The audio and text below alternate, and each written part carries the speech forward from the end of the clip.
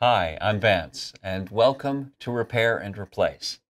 Appliances are made up of some basic electrical components. Understanding these components can help you troubleshoot your appliances. In part one, we learned how to do a continuity test to see if a component has failed, and then looked at fuses, heating elements, and thermistors. You'll find part one linked in the description below. Today, we'll finish learning about switches, solenoids, and motors. Let's begin.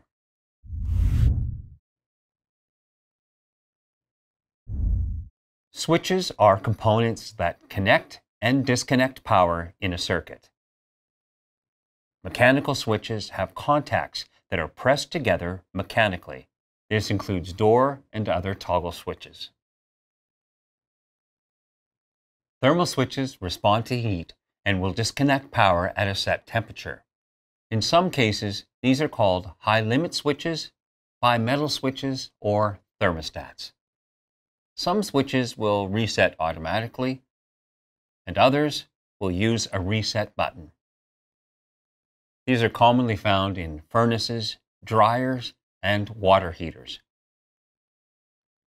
Pressure switches respond to a change of airflow these are used in furnaces, power vent water heaters, and some washing machines. Switches are either normally open or normally closed. Normally open switches do not have continuity until the switch is pressed closed. One example is a dryer door switch that shuts off the dryer when the door is opened. Normally, closed switches have continuity until the switch is opened. For example, a high limit switch rated to open at 200 degrees Fahrenheit will have continuity at room temperature. Keep in mind that even if a limit switch has continuity, it doesn't mean that it's functioning correctly. As the switch wears down, it can open at lower and lower temperatures and can cause an appliance to shut off before it fully heats up.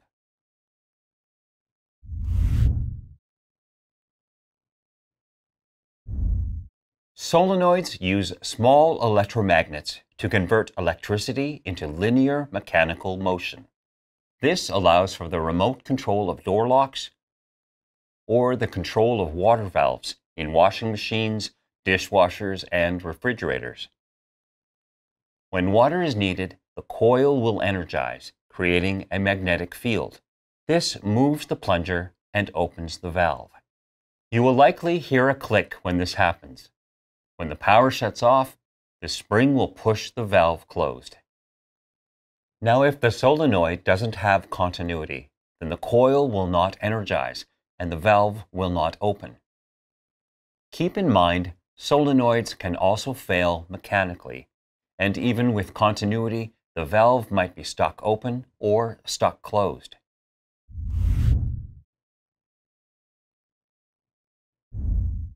Motors use coils of wire to create a rotating magnetic field.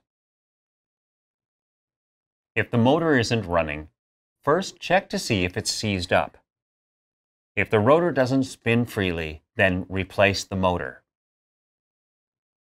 Next, check the motor windings for continuity.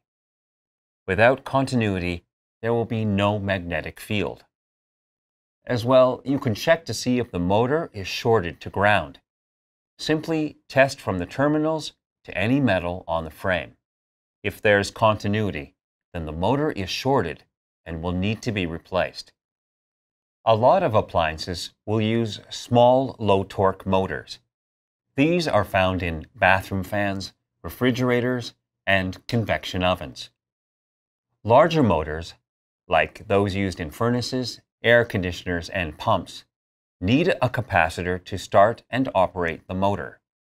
Capacitors store electrical energy but can weaken over time, so it's best to check the capacitor first before replacing the motor. Keep in mind, capacitors can still hold a charge even when disconnected. To see how to safely discharge and test a capacitor, watch the video linked below. Hopefully, these videos have helped you become more comfortable with repairing your appliances. For more troubleshooting on water heaters, furnaces, and appliances, then subscribe to our channel. And if you need help, you can call or visit an AMRE location to talk with our knowledgeable staff. Thanks for watching.